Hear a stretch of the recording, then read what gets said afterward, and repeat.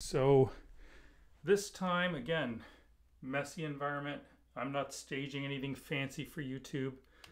You can see that I have a snail, which in this case, probably really appropriate just because, uh, you know, everyone says the Nikon autofocus is slow and doesn't work and my audio is going to get wonky here because I'm going to be running in and out of my doorway with an HDMI cable connected to my MacBook Pro and a microphone on a boom. So I apologize up front if it sounds kind of uh, lousy, but here we go. It's going to be a matter of same lens, 24 to 85 f3545G uh, with an FTZ adapter, my trusty Nikon Z6 II firmware 1.30 and uh, I'm going to be doing that focus tracking. You can see right now I'm not in focus.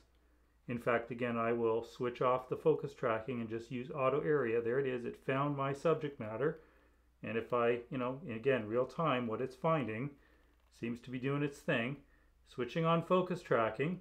And here we go. And we'll see how well it does. And again, I'm being, you know, the idiot here, jerking the camera around, looking stupid. I'm running in and out of my doorway. And, uh, you know, this is about a 10 foot HDMI cable, maybe 15 feet. So I'm just uh, acting like a moron. And if people saw me, they'd go, what on earth are you doing? But is the box sticking? I think it is. I'm getting a little tired there.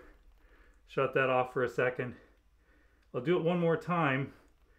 So there it is, focus tracking is on.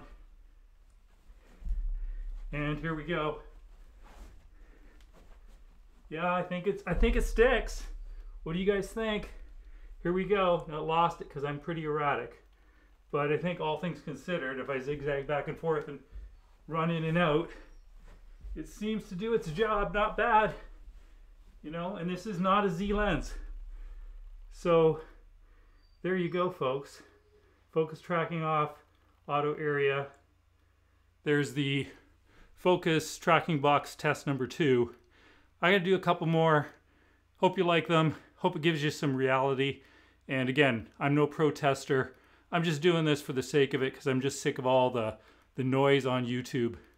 There you go.